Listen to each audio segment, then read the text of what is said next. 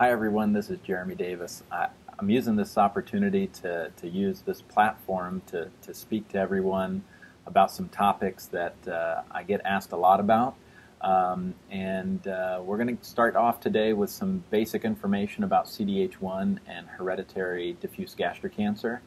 Uh, I'm going to talk about uh, some common uh, questions that are asked um, and maybe at the end of this, you'll have some more information, and then uh, we'll move on to some other topics later on. So the first question is, uh, why are you studying CDH1 in gastric cancer? Well, I, I understand uh, that people want to know if there's some, you know, special story uh, behind all of this, but the truth is, I just want to understand why some people with a CDH1 mutation develop stomach cancer and some don't. Uh, I also want to understand why CDH1 mutation leads to such an aggressive form of stomach cancer that often spreads throughout the abdominal cavity. Stomach cancer is very hard to treat, and by understanding how CDH1 mutation leads to stomach cancer, I think we can find better ways to treat stomach cancer for all people. Another question that I get asked is, is if someone has a CDH1 mutation, what should they do? Well, first, I would say take a deep breath what you really want to do is get information. And if your genetic counselor or your doctor has limited information, then you need to seek out information from a reputable source. So I would recommend a few places. One is www.nih.gov, and you can search for hereditary diffuse uh, gastric cancer or even CDH1. Another site uh, to check out is nostomachforcancer.org and other uh, uh, groups or, or um, advocacy groups uh, that, that deal with stomach cancer. Next, you want to find a place or a person with real experience taking care of patients with CDH1. So there are a few major university medical centers that have expertise and others don't. So you need to find a place that has experience. And certainly you can always reach out to me directly. So the next question that usually comes up is, I have the mutation, what do I do? Well, first of all, anyone with a pathogenic or likely pathogenic CDH1 mutation is recommended to have a total gastrectomy. But before you make that leap, you also need to have uh, an upper endoscopy, otherwise called uh, EGD. Somebody needs to look in your stomach and just make sure everything looks okay and takes biopsies. Again, this should be somebody that has expertise in CDH1. I also want to mention that if your CDH1 mutation is classified as a variant of uncertain significance or a VUS, you're not necessarily going to receive these same recommendations. We're going to talk about this later on. Overall, uh, the next question is, is usually why is gastrectomy recommended and, and what is my risk of developing stomach cancer? So these are really good questions to ask. Overall, we believe that the risk of developing stomach cancer is very high compared to unaffected people. So stomach cancer in the United States is very uncommon.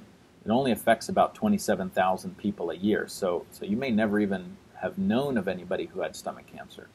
However, if you have the CDH1 gene mutation, your risk of developing stomach cancer could be as high as 70% in your lifetime.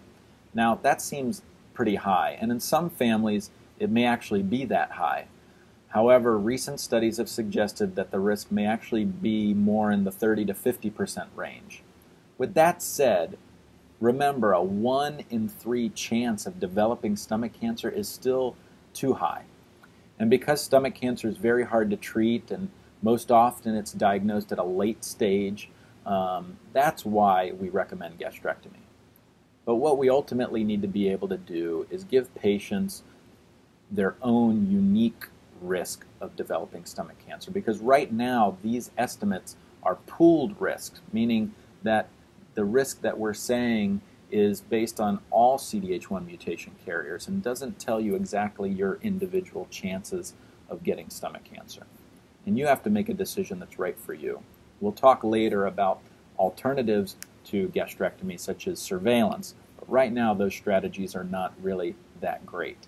And we're also not talking about breast cancer risk today, but we will at a, at a later time. So the next is why uh, is being part of a clinical study important for patients with a CDH1 mutation? Well, CDH1 gene mutations and hereditary diffuse gastric cancer syndrome is very rare. And I tell people it's kind of like if you had a Ferrari. You wouldn't take your Ferrari to a Toyota dealership. You'd take it to a Ferrari dealer, right? So, a clinical study for rare problems is designed not only to take care of you, the patient, but also conduct research at the same time so that we can try to understand it better. Because if we don't do the research, then in 20 years we'll be in the same place that we are today with no more knowledge about this rare problem and no better ways to take care of it. So, a question that's common is what's the benefit of being part of a, a, clinical trial? Well, most trials offer enrollment and treatment without charging for medical care. For instance, a CAT scan or blood work are done at no cost in most clinical trials. Other costs may be reimbursed uh, or uh, provided with some assistance. But most importantly, I think you're helping your family, your family members, or others who have the same problem that you do. It's kind of like paying it forward. But you also have an opportunity to learn more about yourself and your own health as we learn with you. So, some questions that we haven't answered yet are questions about gastric cancer surveillance or breast cancer surveillance. We haven't talked about novel methods for performing surveillance like confocal endoscopic microscopy. We haven't talked about genetic testing for young uh, kids under the age of 18. And we certainly haven't talked yet about gastrectomy and the ins and outs of gastrectomy. So if this goes over well, then next time we'll talk about those topics. In the meantime, email me, ask me questions that you want me to address, and uh, I look forward to hearing from you.